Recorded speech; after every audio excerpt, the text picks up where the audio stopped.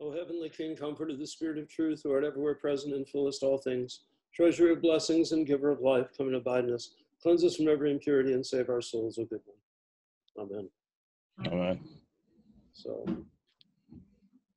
so very good to see everybody. Uh, let's see. Uh, here's the text. There's the text.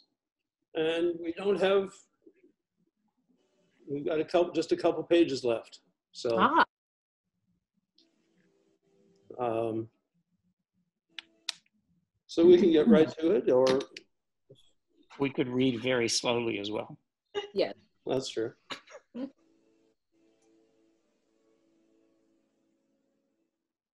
Okay, so who wants to read?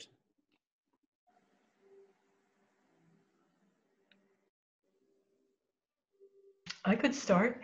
Okay, The globalization, is that where we're starting? yeah, uh, The globalization has not only political and legal, but also economic and cultural informational dimensions.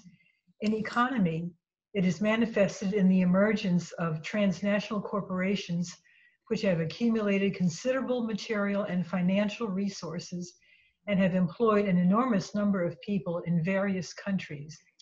Those standing at the head of international economic and financial structures have concentrated in their hands a great power beyond the control of nations and even governments, and beyond any limit, be it a national border, an ethnic and cultural identity, or the need for ecological and demographical sustainability. Sometimes they refuse to reckon with the customs and religious traditions of the nations involved in the implementation of their plans. The church cannot but be concerned also for the practice of financial speculations, obliterating the dependence of income on the efforts spent. Among various forms of this speculation are financial pyramids, the collapse of which causes large scale upheaval. In general, such changes in economy result in the loss of priority that labor and man have over capital and means of production.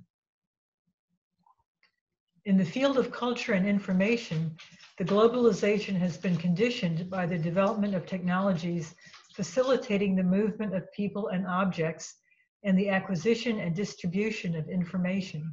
Societies, which were separated earlier by distances and borders and therefore predominantly homogeneous, now come in touch eas- easily and become multicultural. This process, however, has been accompanied by attempts to establish the dominion of the rich elite over the rest of the people and of some cultures and worldviews over others, which is especially intolerable in the religious field. As a result, there is a tendency to present as the only possible a universal cultural devoid of any spirituality and based on the freedom of the fallen man, unrestricted in anything as the absolute value and measure stick of the truth. The globalization developing in this way is compared by many in Christendom to the construction of the Tower of Babel. While recognizing the globalization as inevitable and natural, and in many ways facilitating people's communication, dissemination of information, oh, of people's communication, dissemination of information, and more effective production and enterprise, the church points to the internal contradictions of these, of these processes and to their threats. Firstly, the globalization begins to change along with the conventional ways of organizing production, the conventional ways of or, organizing society and exercising power.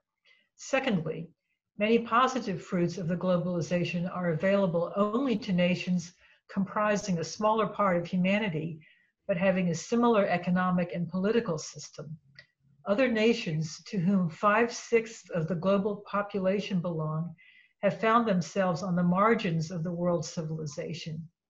They have been caught in debt dependence on financiers in a few, in, in a few industrial countries and cannot create dignified living conditions for themselves. Discontent and dis- disillusionment are growing among them.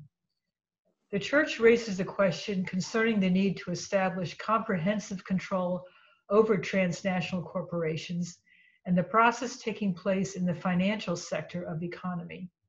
This control, aimed to subject any entrepreneurial and financial activity to the interests of man and people, should be exercised through all mechanisms available in society and state.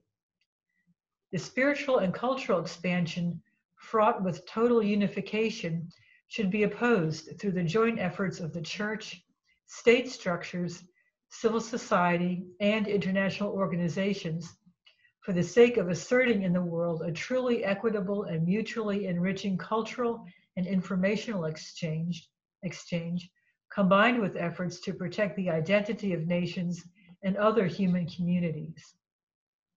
One of the ways to do this, one of the ways to do it is to ensure for countries and nations an access to basic technological resources which will enable, enable them to disseminate and receive information on the global scale. The church reminds that many national cultures have Christian roots. The followers of Christ, therefore, are called to promote the interconnectedness of the faith and the cultural heritage of nations, opposing resolutely any manifestations of anti culture and commercialization of the space allocated to information and arts. Generally, the challenge of globalization demands that contemporary society should give an appropriate response based on concern for the peaceful and dignified life for all people and combined with efforts for their spiritual perfection. In addition, efforts should be made to achieve such a world order which would be based on the principles of justice and the equality of people before God and exclude any suppression of their will by the centers of political, economic, and informational influence.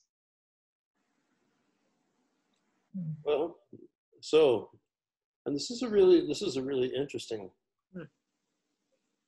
section because the whole problem of globalization, and this was 20 years ago, written 20 hmm. years ago. Mm. The whole problem of globalization is really, um, I think, really acute. And I think they hit the nail on the head when they talk about the elites taking over Yep. uh, control. Um, but there's, uh, you know, and it, and the relative relativization of the nation state, the relativization of national culture and and local cultures and um, and with them religious traditions. Um, and it, of course, it also is important, I think, to to recognize that a lot of the the whole globalization movement is atheist. Um, Well, it's it's it's maybe more than that. It- you know, um, it, it's sort of like a new iteration.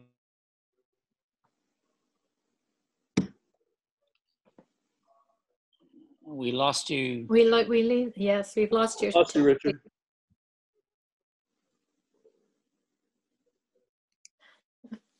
You you mute. You got. Hmm. being American and American values. Um, Richard, we missed most of what you just said because Oh, I'm sorry. of a computer problem. Sorry. You Yeah, want- I, I, I don't think the I, I don't think the connection is very good. Sorry. Are you in? Are you in North Carolina?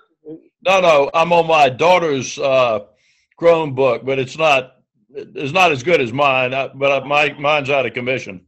Uh huh. So sorry. So we missed most of that.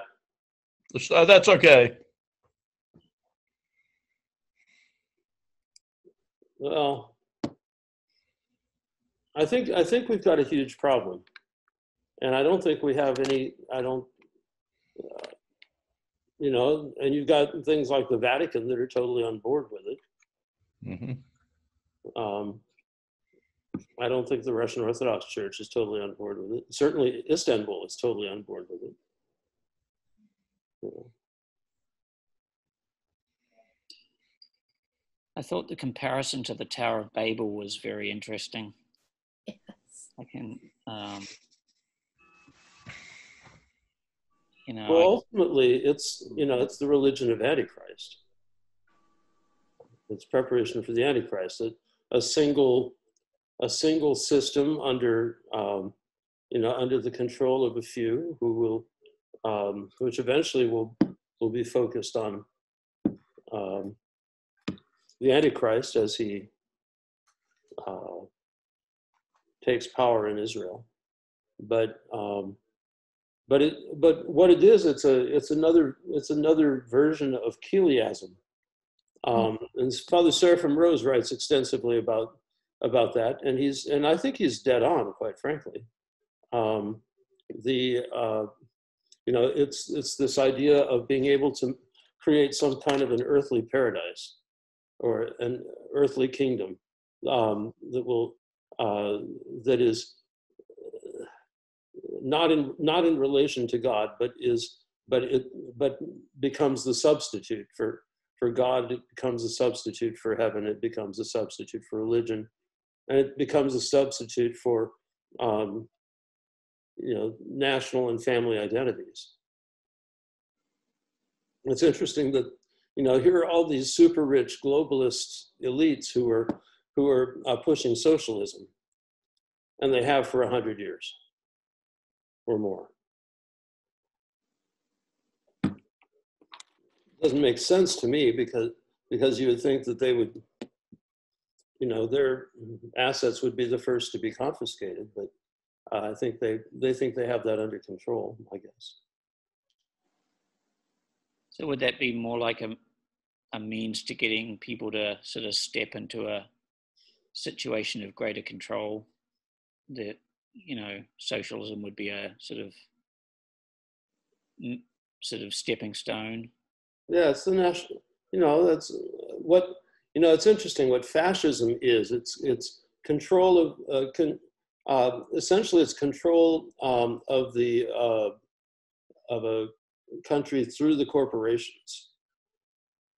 Hmm. The governing elite controls it through the corporations. That's that was so. That's for example what uh, Nazi Germany was. Mm.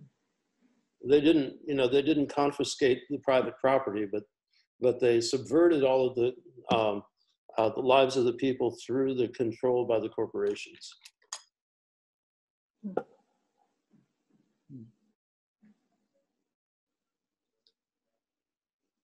So. But it but it's it's interesting you know since this was written there's been this upsurge um, in uh, nationalism. You know certainly not only in the united states but in europe as well.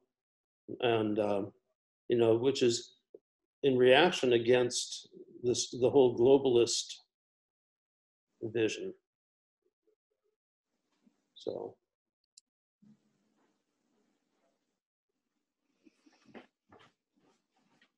So I suppose the whole globalist thing is in is in essence leftist.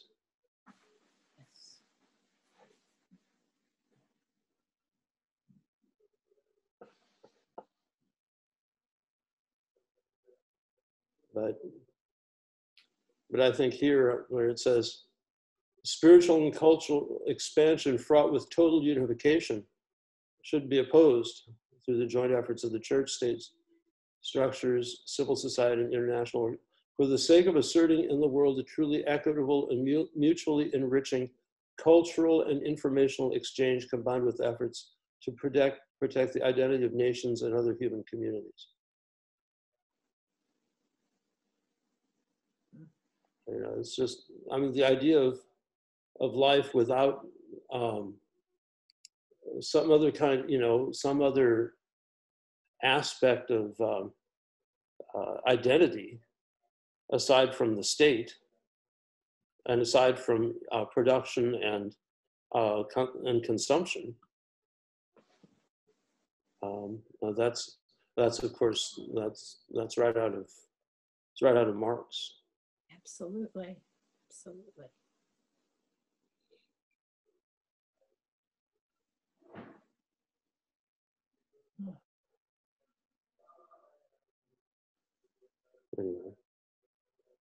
I can kind of go on about that. So, somebody want to read number four?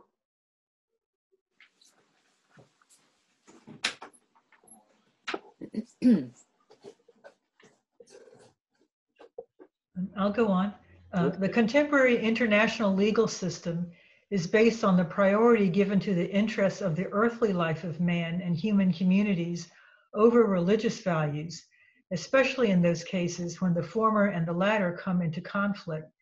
This priority is sealed in the national legislation of many countries. It is often built in the principles regulating various activities of the governmental bodies, public educational system, etc.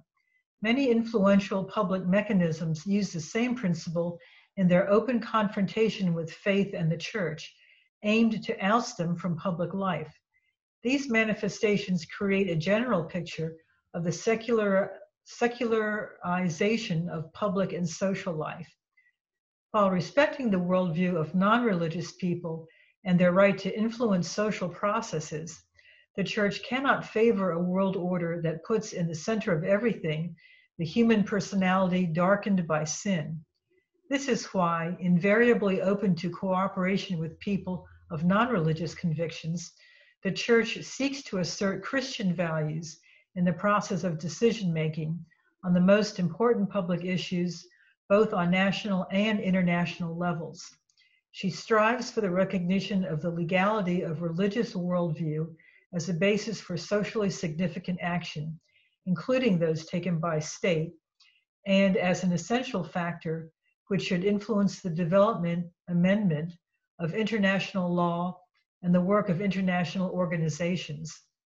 The bases of the social concept of the Russian Orthodox Church are called to serve as a guide for the synodal institutions, dioceses, monasteries, parishes, and other canonical church institutions in their relations with various secular bodies and organizations and the non church mass media. This document shall be used by the church authorities to make decisions on various issues relevant within particular states or a narrow period of time, as well as very particular subject matters. The document shall be included in the curriculum of the theological schools of Moscow Patriarchate. As changes take place in public and social life, and new problems significant for the church emerge in this area, the bases of the church's social concept may be developed and improved. The results of this process shall be adopted by the Holy Synod, the local or bishop's council.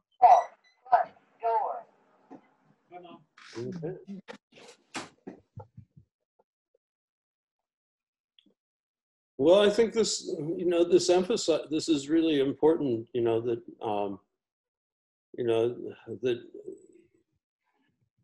we realize that the church realizes that that this whole system of of globalization, of internationalization of, of the legal system and of every, everything else has atheist secularism as as its foundation and as its as its ideal.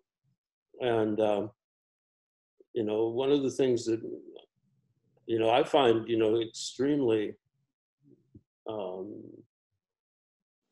distressing is is to see that how the uh, um, for example, how uh, American policy, State Department policy, um, forces um, all of all of our uh, client states uh, to adopt these great American values such as abortion, homosexuality, gay marriage, and and other other forms of immorality that these are now identified as, as fundamental American values. And, um, you know, and it, but it, you know, and, and then because, because of the, you know, the, because of the situation, political situation, you know, the United States forces these down the throats of all of these other, of all of these other countries as a criterion uh, for them to get aid from the uh, Imperial Center. So I don't know. Um, and I don't know if the church is, is able or prepared to be able to fight against this.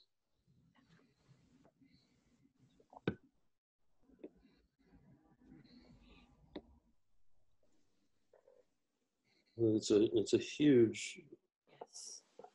huge problem.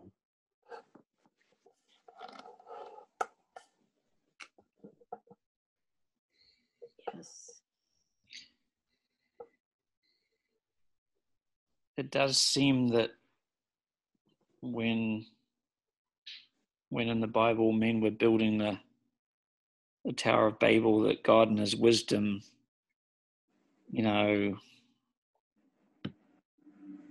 chose to mess things up, as it were, and and sort of make the nations make distinct nations. So hmm it sort of feels like we're coming to a point where that's been seriously undone. hmm So it's it's it's undoing something that God in His wisdom decided was a good idea. It can't be good. hmm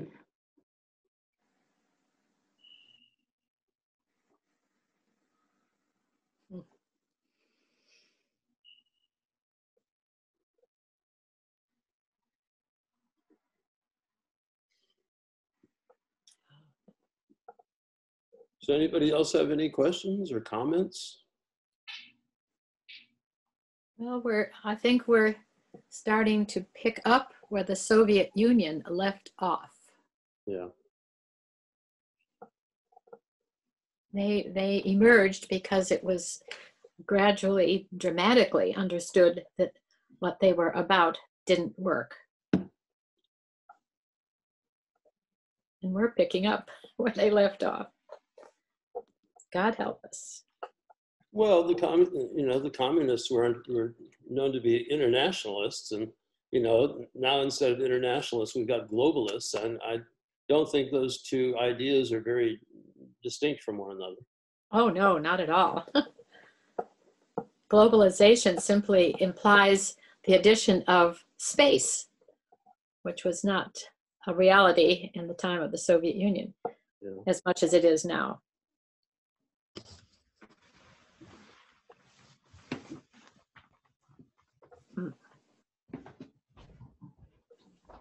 But to what extent do people, and to what extent even does the church fully understand what all this means?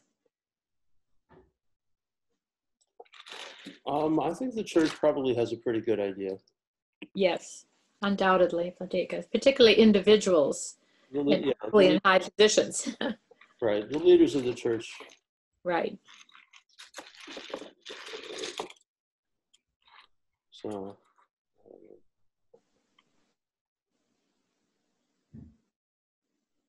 But changes are going on on the basis of these ideas right here in our country, and no one is stopping it. Right. People are beginning to speak out against it, but no one is stopping it.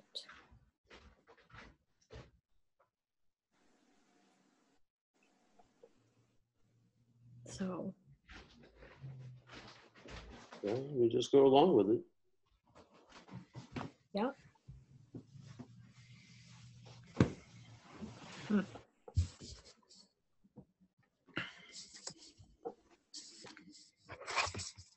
Do what one one of the either hierarchs or um, abbots, what one someone in Russia suggested, uh, was already talking about the way to live in this developing new situation is to uh, find a community out of out of the center, very much like the new monastery you have established, Vladyka, uh, out of the line of action, and aden- identify with one of these communities and live closely within the church, close to the church and within its community. It's, it's laid out pretty well in Seraphim Rose. That it is. Ah, I have not read him. Religion of the future. Orthodoxy and the religion of the future. Oh, wow. So, so, so Richard, what's your take on all of this from from your perspective, from your Well, I have a friend, Rebecca Dillingham, in North Carolina, who's Orthodox, and she has four children, and they want to move to Russia, even though they don't speak Russian. They have no Russians Uh-huh. in there. So I think the idea of uh, a nation state that pr- protects Christian communities is an attractive proposition. Yeah, it is.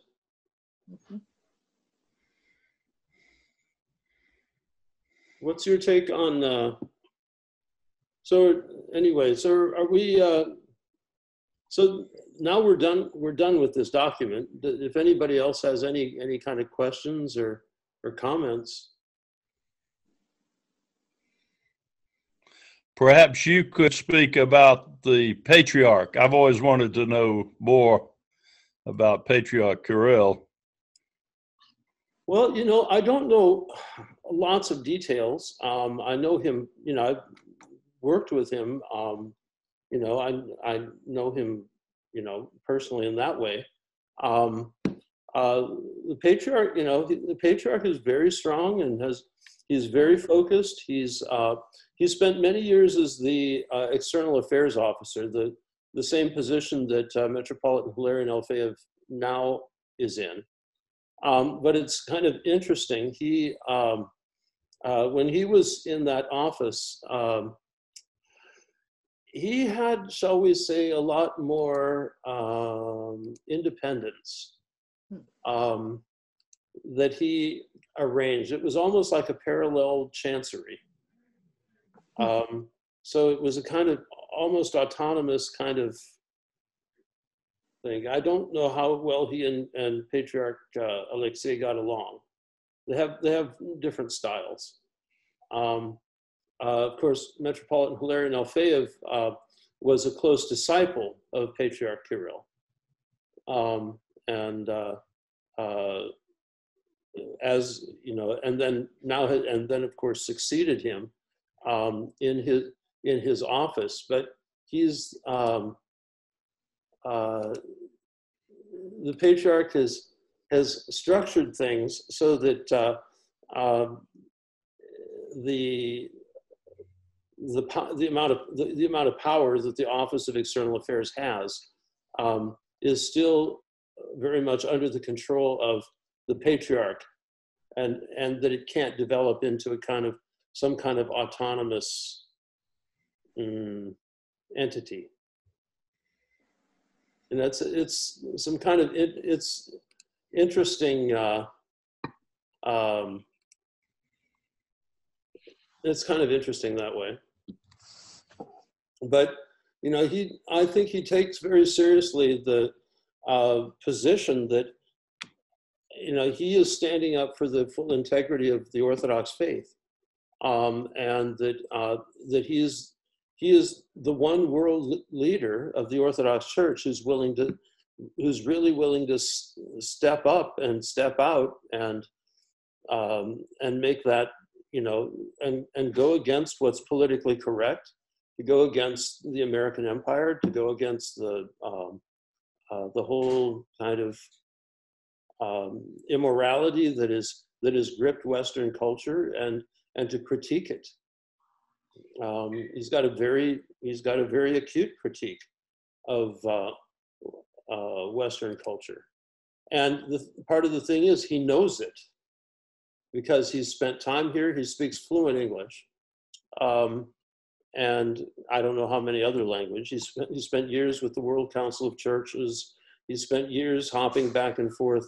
He's you know he, he's got not only a very strong relationship with the Roman Church, but also with the non-Chalcedonian churches, with the major uh, Protestant churches. You know, that, which is which was his job.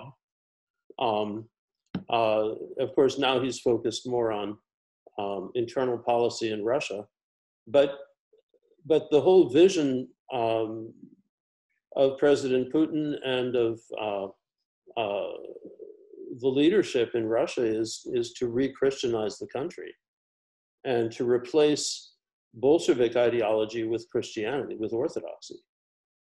Um, and of course, it's a long process, and you know, and and bringing people to conversion and all of that is it's a long, well, it's a long process. um, uh, because the only, really the only way one can become Orthodox and be Orthodox is through repentance. Um, so.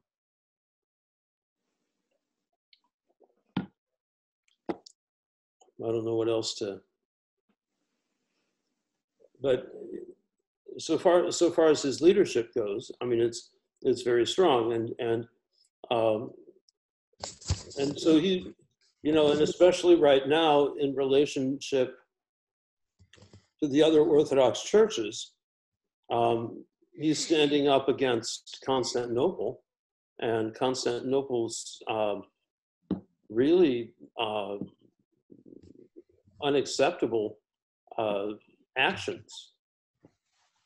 You know, the latest nonsense coming out of Istanbul is that um, they're going to declare Metropolitan Onufri and the Ukrainian Orthodox Church uncanonical. Mm. Of course, the Russian Orthodox Church will uh, essentially will pro- proclaim Constantinople and those with them uncanonical. Um, and eventually, uh, what it's going to lead to, if if nothing stops it, is that um, Bartholomew is going to be anathematized, which is pretty serious to say the least. Um, and that means that the schism is hard and fast. That means that you know there can be no communion, no communion going of people going back and forth with the Greek churches or any of the other churches that uh, Hmm. uh, are subject uh, subject to Istanbul or in communion with Istanbul. Mm. So it's so it's it's very serious. Um, you know, I think I personally I think Patriarch Kirill is right on. Absolutely right on. And I totally support you know, what he's doing. So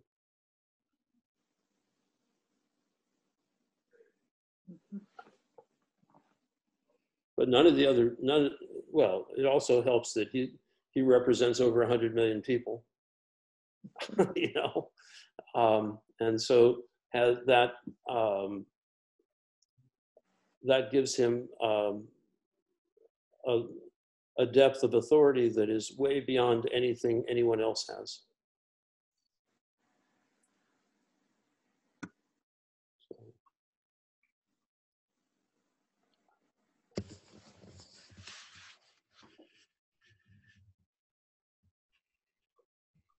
So what do you, what, what else?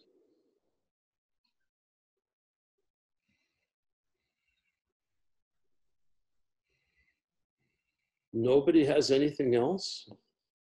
Thinking about your Christmas list or something like that? Well, well, you do have the question of when it's justified for the church to interfere uh, and object to government policy. Well, you know, I think personally, I think that um, uh, the church needs to be the conscience of the state. And especially, I mean, in Russia, that's essentially what you what we see in this document. Um, uh, but and you can do that when you've got a fairly homogeneous population that with a with a single with mainly one major one main church. You see the ultimate fail of that in the with the Angli- with Anglicanism. It's not the conscience of anything, um, and so less than what two or three percent of the population actually go. It's it's it's it's tragic, but that's but that but the result of that's the result of of complete and absolute and complete surrender uh, to the culture. And that's, you know, and that's where American Protestantism is going. You know, absolute and complete surrender to the culture, secularization, and um, primacy of either non or anti-Christian values. Um, and the fe- and the fear of being of standing up to the uh, society and saying no. So Vladyka, to what extent do you think the uh, re so-called re-Christianization of Russia actually has taken place? Oh, I think it's it's still just beginning. It's going to take generations, Mm. and hopefully, you know, they'll have the same kind of continuity of uh, um, worldview that uh, that there is now. If not, uh, who it's all up for grabs. You know, because on one hand you've got the West, you know, pushing and pushing, um, you know, for uh, total influence. Um, and then you've got uh, then you've got uh, the more the Christian Orthodox elements in society reacting against that. So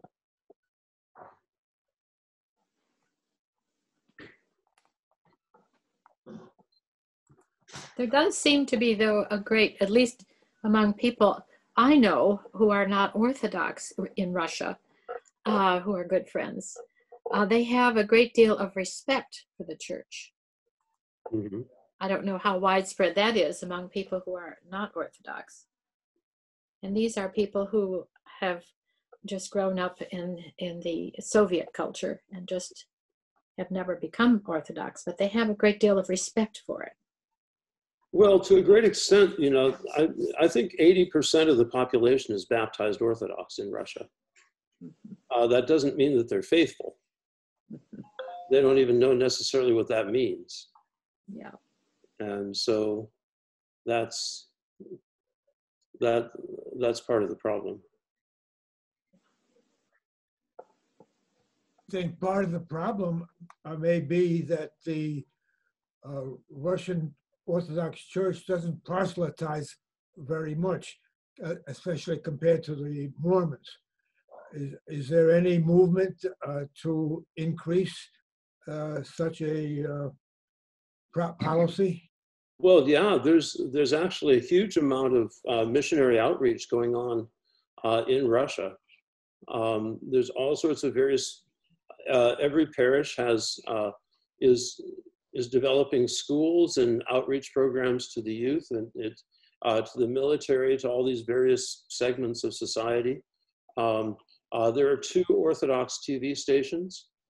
Um, you know the there's a there's a very strong push um, for uh, Christian values. There's uh, there's a uh, the anti-abortion is is an extremely strong movement now in Russia.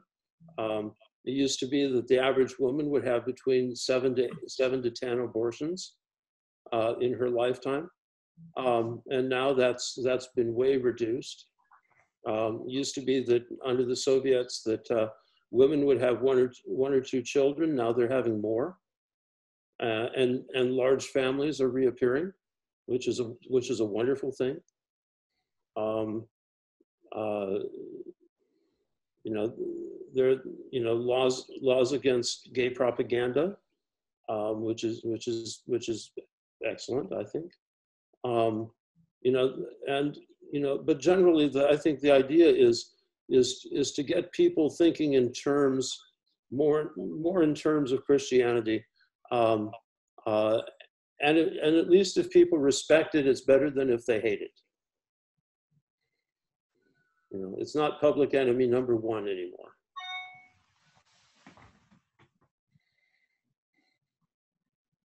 So.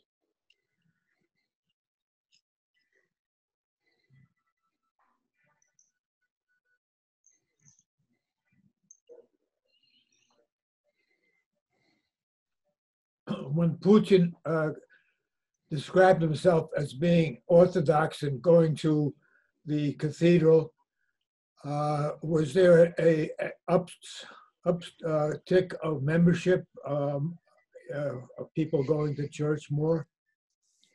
I don't know. Felt that the leader was, was uh, Orthodox, so that it's safe to go. Well, I think Putin, you know, was was he was part of a movement. You know, there were many. I he.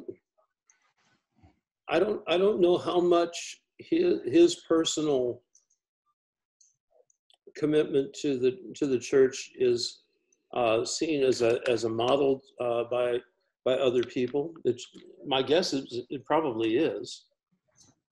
Um, but uh, you know, and, and and he does go to, uh, you know, he he is a faithful Christian. He does go to confession and communion.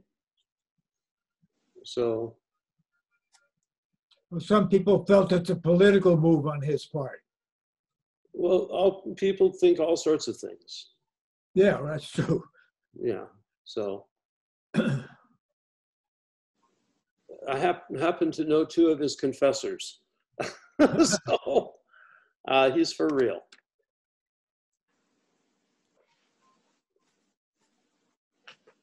So, well, so if anybody has anything else, otherwise we can we can call it a night early.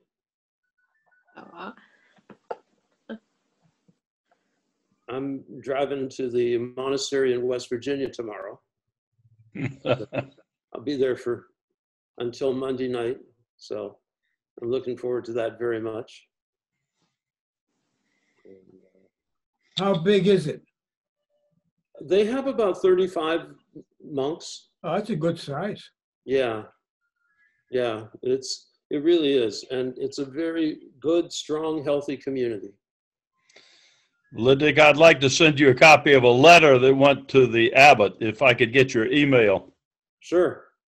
You ha- I think you have my email. I'm pretty sure you do. I've got yours somewhere.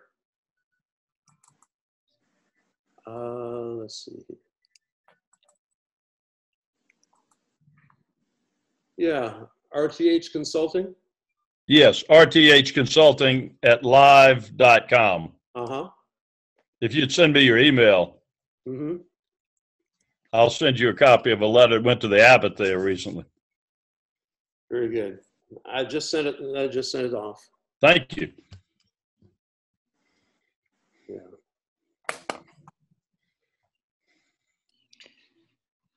So, all right. Well, I think let's uh, let's wrap it up for tonight. So let's let's pray. It is truly meet to bless thee, O Theotokos, ever blessed and most pure, and the mother of our God, more honorable than the cherubim, more glorious beyond compare than the seraphim. Without corruption, thou gavest birth to God the Word. True Theotokos, we magnify you. The blessing of the Lord be upon you through his grace and love for mankind, always now and ever into ages of ages.